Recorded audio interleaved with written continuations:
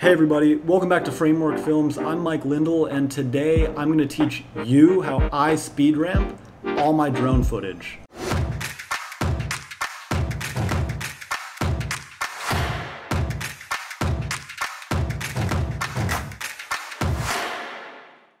So let's go ahead and dive right in. I'm here in Premiere Pro and I've already loaded in this uh, clip from Seattle onto my timeline. It's of the Seattle Space Needle, and you'll kind of see I'm doing this like half kind of orbit around the needle as this one elevator kind of shoots up. And I thought this would be a really great clip to showcase an example of how exactly you speed ramp it. And, you know, sometimes a little bit of polish is needed. Sometimes if you just speed ramp it, it looks a little raw. So I will throw a little bit of directional blur over it just to make the clip feel a little more natural. I'm going to start by right clicking the FX button up here and I'm going to go over to time remapping and speed. It's already selected and I want to set a keyframe. And you can do this a couple ways. Um, I think the easiest way is finding that moment in that clip where you want that keyframe to initiate. I can come over here to time remapping and I can click this little stopwatch button. And that's gonna add a keyframe in position. And I'm gonna scroll over to where that elevator kind of stops uh, being visible. Kind of tucks away underneath the saucer of the needle. And I'm going to add another keyframe there. And that's just so kind of I, I understand that frame of reference. If I'm thinking about how I want this clip to display, I'm gonna wanna go from slow to really fast as, as that elevator pushes up, and then back to slow once it's kind of not there anymore. So now that I have this kind of keyframe in and keyframe out point, I'm gonna click and drag this line very, very tall. I want this to be very, very fast, right? Maybe I'll bring it up to, I don't know, 1500. Let's play it back and see how it came out. Boom. So you see how like it doesn't really ramp, but our speed effects have been applied. Now that our speed effect has been applied, we need to properly ramp it. There's no curve in that motion. It just goes slow, fast, slow, but we want it to be smooth, right? So all I have to do is click on these little points and drag these lines out. Just need to drag those playheads out a little bit.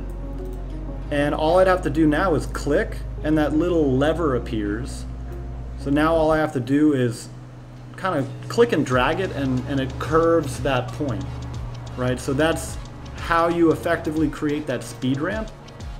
But, I don't know, and you can kind of fudge around and, and adjust it as needed. Sometimes you need steeper ramps, sometimes you need more shallow, less steep ramps.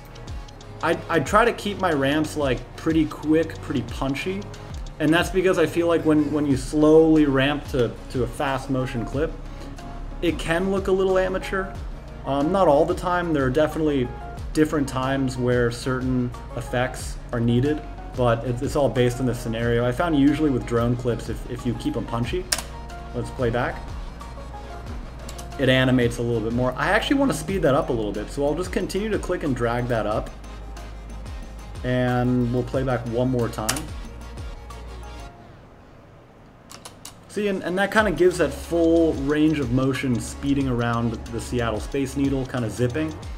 Um, but I've, I've, noticed that when it moves pretty fast, it's almost like a, a, jarring feeling of being on a roller coaster. I've had a couple people ask me, like, how, how would I smooth out that orbit? How would I smooth out that ramp? And my answer is I actually use what's called directional blur on top of a speed ramp, keyframing at just those moments when that speed ramp starts until that speed ramp stops. Now the next step is to apply directional blur, but because I've already engaged the speed ramp, there are certain effects that don't work on speed ramped clips. Directional blur is one of them. Uh, what I normally do in this scenario is I'm actually gonna nest the clip and it's kind of like flattening all the layers so you can have a clean clip to work with with the effects that you previously applied. In this case, I've already color graded it and we've already put on that speed ramp. But I want to keep my position. I want to understand where I put those speed ramps into place. So what I'm actually going to do is I'm going to copy this and I'm going to paste it. And this is just so we can keep a frame of reference. This is just so we see where those ramps were. I'm gonna come over, I'm gonna right click it and click nest, and I'll name it, it, it kind of doesn't matter, you can name it whatever you want, whatever naming convention you need. I'll name it Seattle nested clip. You can name it anything. So we'll click through that, and you see now it's like, we play it through, and that speed ramp still is there, but we just no longer have a reference to where it is because that clip is now nested but that's why we kept this reference frame. Let me just extend my timeline a little bit. What I'll actually do here is move my nested clip up and move our reference clip immediately below.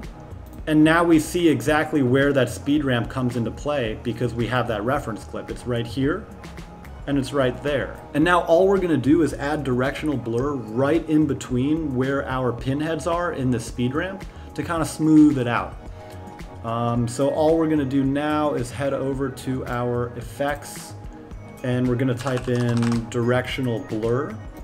And I'm gonna drag and drop directional blur right on top of my nested clip. And right now we've obviously, we haven't engaged directional blur just yet, but I'm gonna come over to right where that speed ramp begins. Um, I'm on a window, so I'm gonna hold Alt and use my scroll wheel to expand this clip just so we get a little more visibility um, to where that speed ramp starts and stops. You can also achieve a similar effect if you just grab this little handle here. You can drag in and drag out. So now that we've added directional blur right on top of this clip, all we're gonna do is find that area where that speed ramp starts.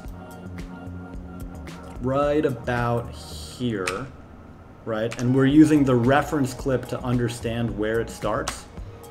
We're gonna start that keyframe in directional blur. We're gonna click on the keyframe button. We're gonna add it and it's zero right at this moment, but we're actually going to increase it to accelerate to the top of the speed ramp, right where the blur length would stop increasing in gain. So right about here, maybe we'll hit five right? And we do this because at the beginning of that blur, if you think about motion, it's still accelerating. So at the beginning of that acceleration, it's not going to be as blurry as it is towards the end of the acceleration phase because it would be moving faster, right? So we've done the first kind of speed ramp of two. I guess the whole thing is a speed ramp, but this first curve, we play back and we see that blur happen and it blurs. Let me make this full screen and we can play it back. So you see, like now that we've finished that first curve, we no longer need to leverage that deceleration blur, right? Because once it's finished decelerating, which in this case it has, that blur was still applied to the clip. So now we can use our reference clip and find just the top of that peak. And we can add a keyframe here from five. And we'll find just that ending phase keyframe, probably about there, and we'll return it to zero. Right, so now if we look, based on our reference clip here, accelerate, decelerate, and it all coordinates with the blur that we set. So I'm going to go back into full screen mode by hitting the tilde key and I'll hit play. And boom, we've just added it. Right? So something that you want to keep in mind is maybe five is a little too much. Maybe it's not you're going to have to kind of adjust your way through it through speed ramping, through the appropriate speeds, through the appropriate blur length. Another fun thing that we can adjust is the direction of the blur. So in this case, we're moving left to right, not up and down, not diagonal, not forward and back. So there are different ways that you can change. I guess the, it's like a radial dial. There are different directions that you can change this directional blur. That's why it's called directional blur. Uh, so I typically take a look at this if I'm using a blur length of 100, like that's clearly not what we're actually going to be using, but you can actually see, like when you adjust the direction, you can click and drag it. You can see which direction, right? It's kind of like a clock. It, it kind of ticks around. You can see which direction makes sense to use given the general direction that your clip is moving.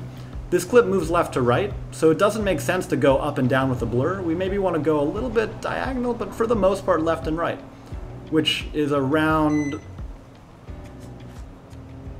90 degrees, maybe I'll do 95 degrees. That, to me, visually, it looks good. And we're not gonna keyframe the direction. We're only keyframing the blur length because the direction of this clip anyway stays pretty consistent moving from right to left or left to right is kind of the same motion. So we only need those four keyframes. That fifth one automatically generated when I started fun funking, you know, messing around with the direction uh, blur. But now when we play that back in, let me back it up and I'll go full screen. When we play that back, whoosh, right? Like we get that solid motion, we get that solid blur length, we get the solid direction, and the whole thing really came together. That's pretty much it. You know, it, it's actually a very easy concept and very easy to implement. It just takes a little bit of foresight and, and it takes some planning on how you're trying to record your drone footage and, and what effects you want to apply to it in post-process. So whenever I'm doing a half orbit, I'm always thinking about am I going to speed this up? What would be a cool angle? What's my point A? What's my point B? And I speed ramp around it. And thank you so much for watching. I really hope you enjoyed this tutorial. And until next time, we'll catch you soon.